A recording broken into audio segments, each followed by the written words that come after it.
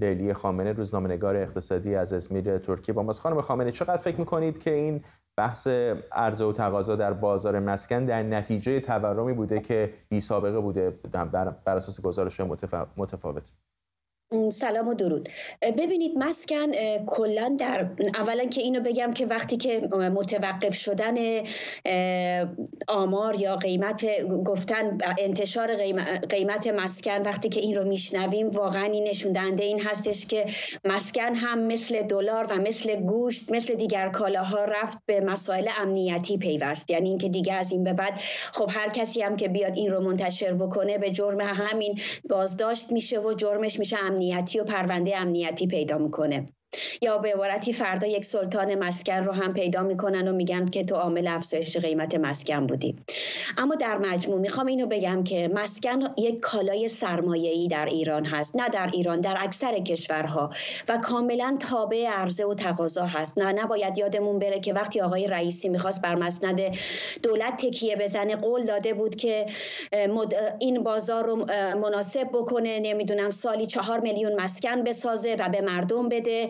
به مدل های مختلف اما می‌بینیم که الان دقیقا در چه وضعی هستیم و ضمن اون که وقتی که ما می‌بینیم که تورم بر کالاهای مواد اولیه که برای ساخت مسکن مثل سیمان مثل نمی‌دونم در و پنجره و همه مواد اولیه حتی آهن همه چیز تاثیر گذاشته قاعدتا شاهد رشد بی سابقه قیمت مسکن خواهیم بود و این روند ادامه پیدا می‌کنه.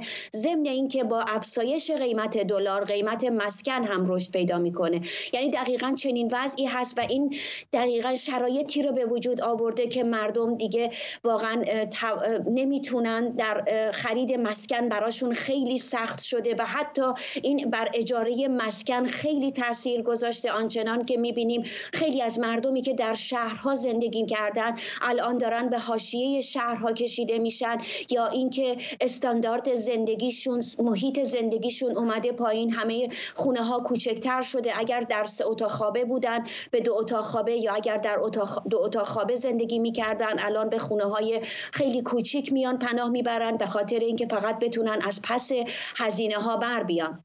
یک مقدار قیمت ارز بعد از اعلام خبر توافق ایران و عربستان پایین اومد. چقدر فکر می‌کنید اون می‌تونه رو بازار مسکن هم اثر بذاره؟ ببینید آخه الان شما این سوال در شرایطی هست که ما الان بگیم که خب قیمت قیمت ارز اومده پایین ولی وقتی میریم فروشگاه حتی یک کالای معمولی رو هم بخریم و وقتی که میگیم که قیمت ارز اومده پایین چرا این قیمت پایین نیامده اون میگه من این رو با قیمت نمی‌دونم پنجاه هزار تومن یا پنجاه سه هزار تومن خریدم. الان هم در همین شرایط ضمن این که همه قیمت مسکن وابسته به قیمت دلار نیست. وقتی که وقتی که در کشوری که خب داریم زندگی می‌کنیم که قیمت مثلا تولید سیمان به برق بستگی داره یا به فاکتورهای مختلفی بستگی داره تمام این عوامل بر قیمت مسکن تاثیر می‌ذاره. نمی‌تونیم بگیم فقط و فقط ناشی از قیمت ارز هست. اما ضمن اینکه باید این رو بدونیم که پیش بینی میشه. چنانچه تمام این قول و قرارهایی که دارن الان میگن و داره یه مقدار قیمت ارز رو